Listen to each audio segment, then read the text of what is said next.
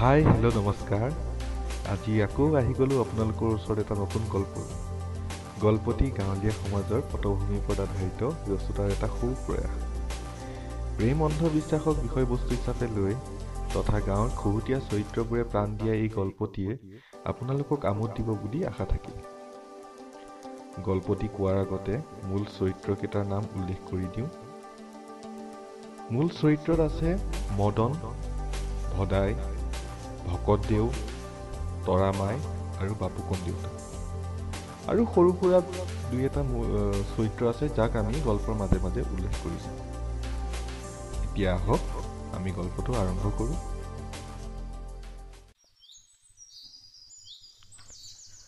মদনে ভৰ দুপৰীয়া চোতালৰ মাজত বহি নিজৰ সুৰণিখন ওলটিয়াই চাই আছে। এনেতে ভদাই আহি মদনৰ চোতালত উপস্থিত। আৰু হতভম্ব হৈ সুধিলে হেৰ মদন এই দিনটো পৰতে তই এইখন কি মিলিছ হয়নে? যমে চিত্ৰগুপ্তৰ দায়িত্বভাৰ তোকে দিলে যেন পাইছো। ভদাই ভেঙুচালি কৰি জোৰেৰে হাঁহিব ধৰিলে। মদনে ওলোটাই কলে নহয় ৰহো ভদাই ঘৰত কোনো নাই। মাও নামঘৰলৈ গৈছে। সেই চগতে এই অভাগনৰ ভাগ্যত কি লিখা আছেনো সেই বুলিহে এইখন উলিয়াই অলপ চকু ফুৰাই আছো। পিছে তই বা কি সকামত আহিলি? ভদাই কলে কিয়? বিহুচোন ঘৰৰ পদূলিত হাজিৰ ডেকাচাঙত আজিৰ পৰা হুঁচৰি আখৰা আৰম্ভ হৈছে। মূল ঢুলীয়া হিচাপেচোন গাঁৱৰ ৰাইজে তোকেই দায়িত্বটো দিছে। পাহৰিলি হবলৈ? মদনে কলে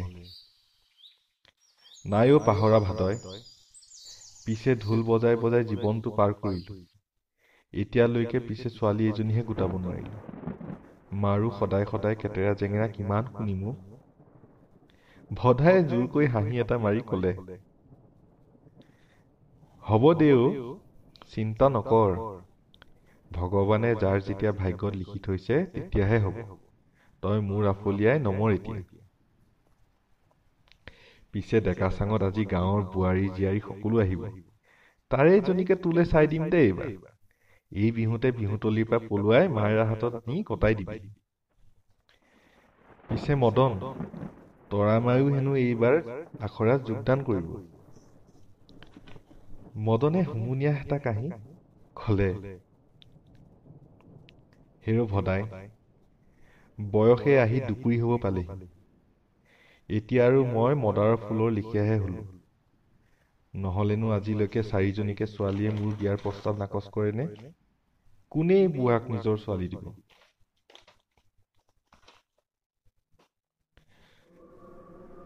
ভদাইৰ মনত হঠাৎ কথা এটাই খেলালে আৰু মদনক নকৈ নোৱাৰিলে।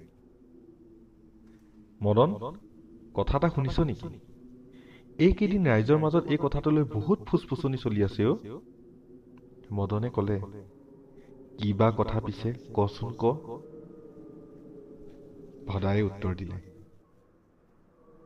গাঁৱৰ সিটোমূৰে মাইৰ থানখনত বোলে ভকত বিষ্ণু এজন আহিছে। তেওঁ বোলে অপাৰ শক্তিৰ অধিকাৰী।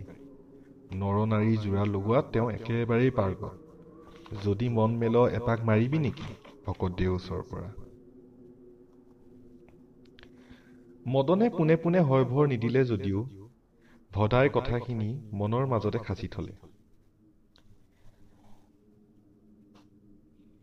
গল্পৰ পিছৰ খণ্ডত যোৱাৰ আগতে এইখিনিতে মদন আৰু ভদাইৰ সম্পৰ্কৰ বিষয়ে এবাৰ কৈ লওঁ। ভদাই মদনৰ মোমায়েকৰ পুতেক। বয়সত সৰু যদিও ধেমেলীয়া স্বভাৱৰ ভদাই সহজ সৰল মদনক একা বেকা বুদ্ধি দিয়াৰ যোগান ধৰোঁতা। পিছে সিহঁতৰ সম্পৰ্ক একেবাৰে ৰাম লক্ষণৰ যোৰাৰ দৰে নিকা আৰু পবিত্ৰ। এইখিনিতে তৰামাই কথাও নোকোৱাকৈ নোৱাৰি। তৰামাই গাঁৱৰে বাপুকণ দেউতাৰ জীয়েক। উচ্চ শিক্ষিত নহলেও দ্বাদশ শ্ৰেণীলৈকে যেনে তেনে পাছ কৰা তৰামাই গাঁৱৰ ভিতৰতে অতি শিক্ষিত ছোৱালী। বৰগছ নথকা ঠাইত এৰাগছেই বৰগছ। পিছে তৰামাই অতি চালাক চতুৰ আৰু বুদ্ধিত বৃহস্পতি ছোৱালী। তৰামাই আৰু মদনৰ প্ৰেমৰ কাহিনী গোটেই গাঁৱতে সৰ্বজন বিদিত। একমাত্ৰ মদনৰ শিক্ষাৰ অৰ্হতা নথকা কাৰণে আৰু পৰিয়াল নিম্নবৰ্গ হোৱাৰ বাবেই বাপুকণ দেউতাই মদনৰ বিয়াৰ প্ৰস্তাৱ নাকচ কৰিছিল। পিছে তৰামাইৰো প্ৰেম শেষ হৈ যোৱা নাছিল। আজিও মদনৰ অপেক্ষাত তৰামাই অবিবাহিত। মদনো যিকোনো উপায়েৰে তৰামাই পাবলৈ এতিয়াও মনে মনে চিন্তা নকৰা নহয়।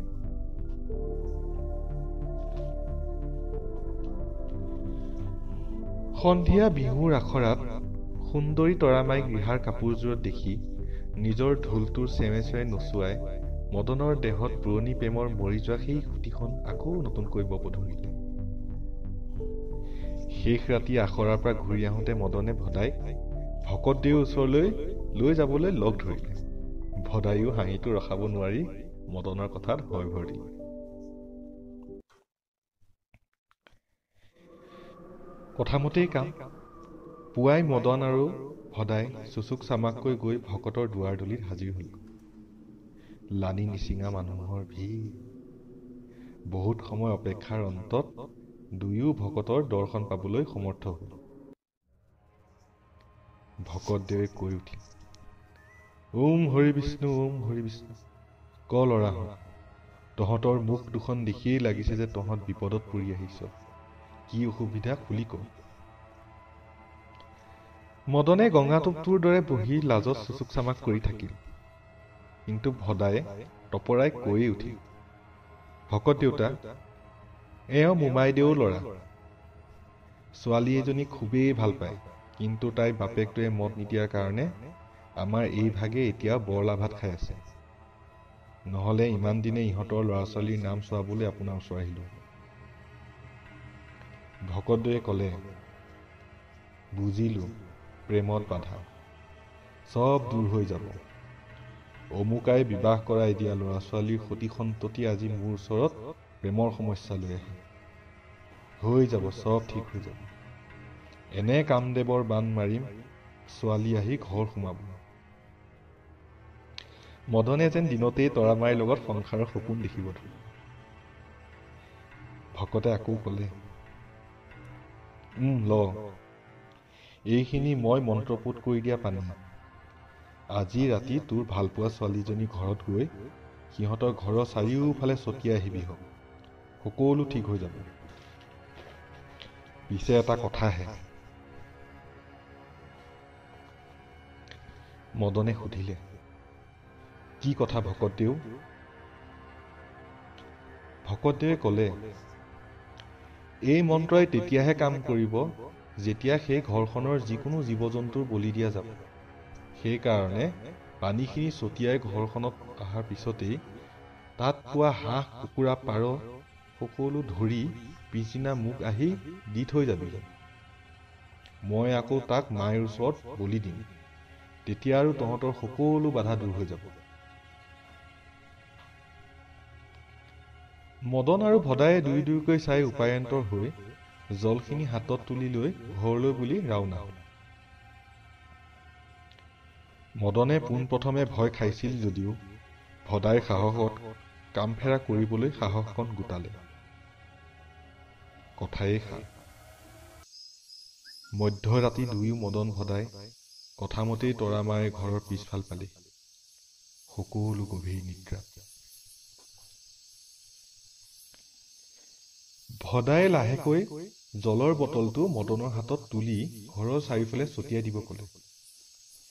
পানীখিনি ছটিয়াই হোৱাৰ পিছতেই হাঁহৰ গঁৰালটোৰ পৰা হাঁহ এটা ভকতে কোৱাৰ দৰে আনিব খোজোতেই ওচৰত থকা নাঙলটো মদনৰ ধুতিৰ খোজত ফচি গঁৰালটো ওপৰতে পৰে।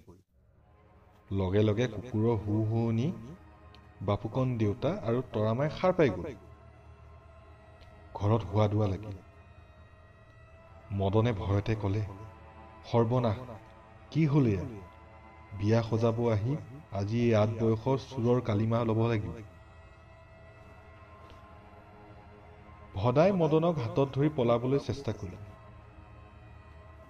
দুয়ো ভগৱানকে চিন্তি তাৰ পৰা যাব খোজোতেই তৰামাইৰ চাকিৰ পোহৰত মদনৰ মুখখন ফটফটীয়াকৈ তাইৰ আগত ওলাই পৰিল। তেওঁ মদন আৰু ভদাই নলৈ নলৈ পলাই পত্ৰং দিলে। পিছদিনা গাঁৱত হোৱা ধোৱা লাগিল। ইতিমধ্যে গাঁৱত এমাহৰ পৰা এনে চুৰি কাৰ্যই হঠাতে দেখা দিছে। কাৰোবাৰ অলংকাৰ কাৰোবাৰ গৰু কাৰোবাৰ হাঁহ কুকুৰা নহ'লে কাৰোবাৰ শাক পাচলি মুঠতে গাঁওখনত প্ৰতিদিনে চোৰৰ প্ৰকোপ বৃদ্ধি পাইছে।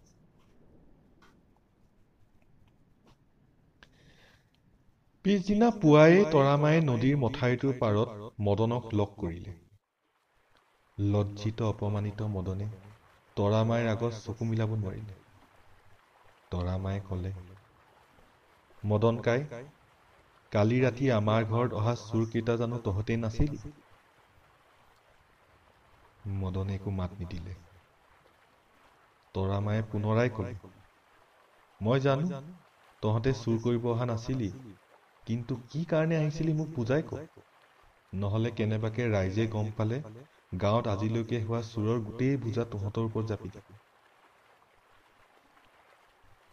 মদনে লাজে ভয়ে তৰামাই হাত দুখন ধৰি চকুলোত টুকি আদিৰ পৰা অন্তলৈ গোটেইখিনি কথা বিৱৰি কলে। তৰামাই আৰু বুজিব বাকী নাথাকিল। এই লোভীয়া ভকতক এসেকা দিবলৈ আৰু গাঁওবাসীৰ চকু মেল খুৱাবলৈ তৰামাই মনে মনে যুঁজা আৰম্ভ কৰিলে।